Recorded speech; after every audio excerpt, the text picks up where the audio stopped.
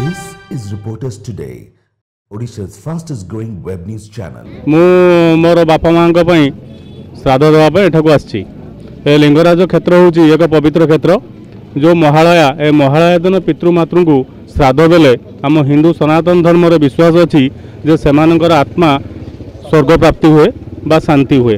ସେହି ଦୃଷ୍ଟିକୋଣରୁ ଆମେ ହିନ୍ଦୁମାନେ ଏହି ମହାଳୟା ଦିନ ପିତା ମାତା ପ୍ରପିତା ବା ଜେଜେ ଗୋସାପ ଇତ୍ୟାଦି ପିତୃପୁରୁଷ ମାନଙ୍କୁ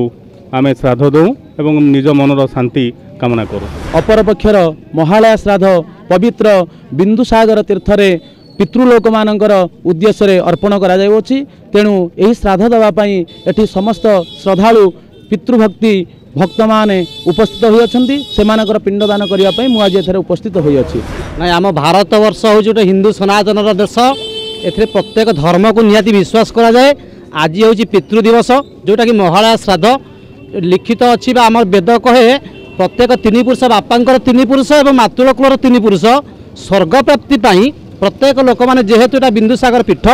এটি দেবতা মন্দির লিঙ্গরাজঙ্কর পীঠ হচ্ছে কি বিন্দুসাগর এই বিন্দুসাগর মূলরে প্রত্যেক লোক মানে স্বামী স্ত্রী পতি পত্নী যদি উভয় মিশি যদি পিতৃদেবতা মানুষ সম্পর্কিত করতে